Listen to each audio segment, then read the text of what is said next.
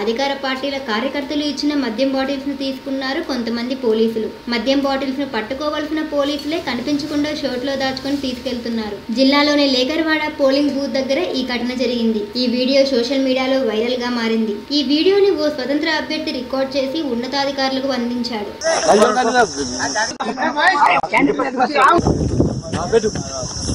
Yau, dimakalin ya, dimakalin ya. Lanjutkan dulu.